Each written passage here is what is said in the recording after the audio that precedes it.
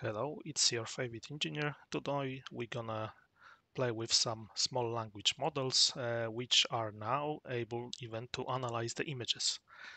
And uh, let's start uh, from Ollama. This is the engine that you need to play with those models.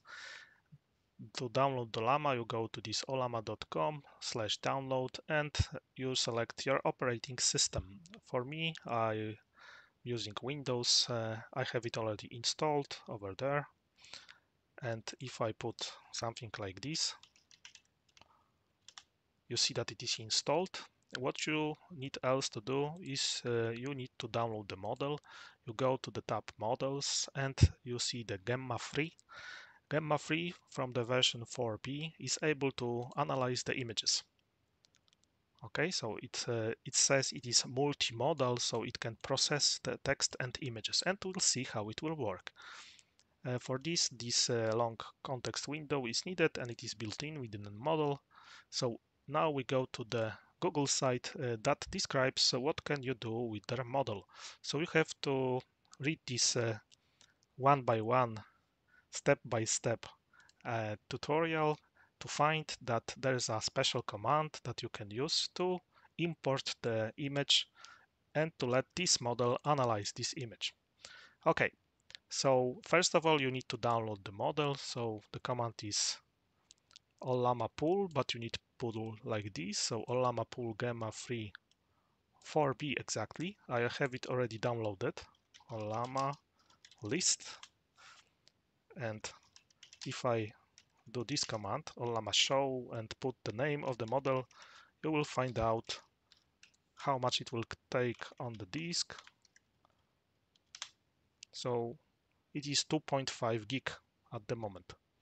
Context length is important because it means how much uh, tokens it can analyze in single shot.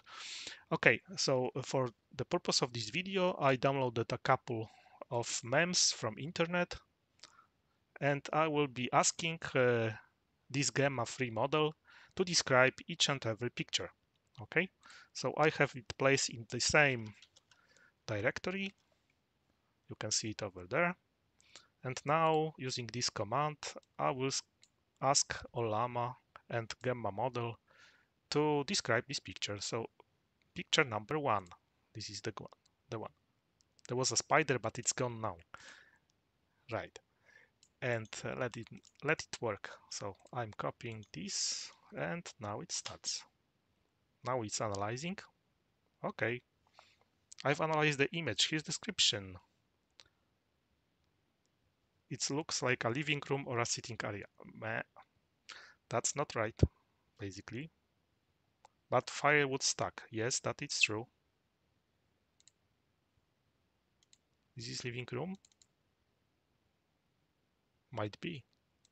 Anyway, you see it is working. So let's assume that you have uh, something to do. You need to analyze a bunch of pictures, not one, not two, not eight, but hundreds.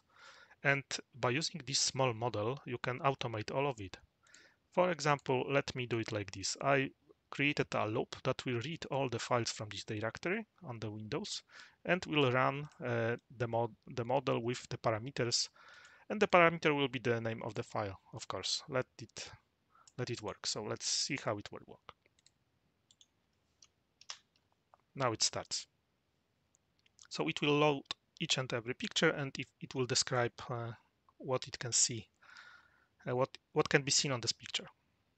As you can see it is not having any issue with this. It's doing it very fast. Maybe because I'm having this uh, you know, GPU, RTX 4060 Ti with 16 gigs. But for these small models like uh, 4 gig, you can even run it on older cards like 1650 or something, the one with 4 gigs. Okay, so it finished. So it took it even less than one minute to do so. Okay, let's now assume that you want to have the output into the text file. So I enhance this line with this, and now I will get the, for each and every file, I will get the description into the file name with dot text, right? Let's do it. and three, two, one, go. And now it will read all the files, it will look into them, and it will describe into the name of the file. So picture one, it's already analyzed. Picture two, it's now ongoing. So you can see that those, those descriptions are appearing in the same directory. And after it is finished, I will display just to show you what we are getting here. Of course, this is a very small model. It has only four, uh, 4B, but I will switch on to the 12B uh, in a moment because I have a I have a GPU that has more VRAM. So then we'll switch to this. Okay, it's done. It's done. Let me see. Let's uh, see description of this picture. So it is a, you know, Game of the Thrones. Okay, it was able to find what was the movie. Nice. So for me, it is it is quite, I would say, accurate. Accurate.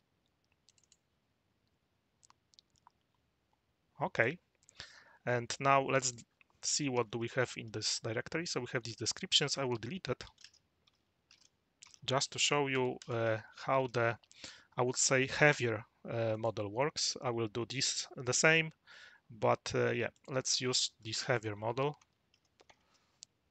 Let's see how it will do.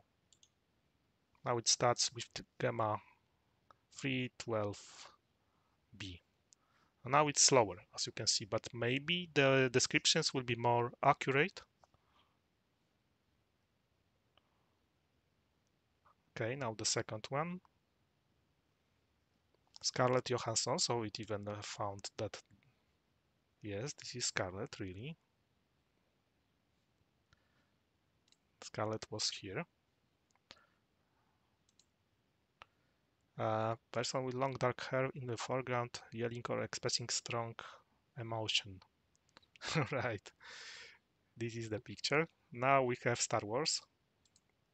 Yes, Anakin Skywalker. Yes, and Padme Amidala. Yes, that's of course right.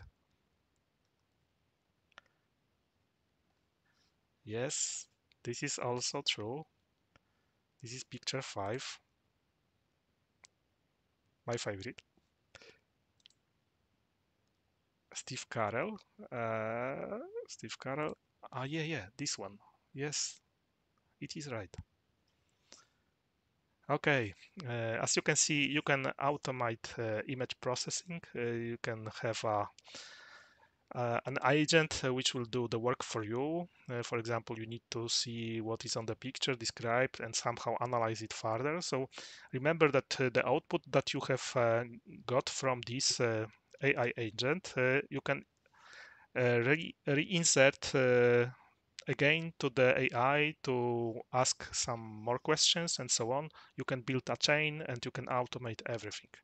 Okay, I hope that was interesting for you. And uh, if you liked the video, please leave a like and please press subscribe button. Thank you very much and see you again. Bye bye.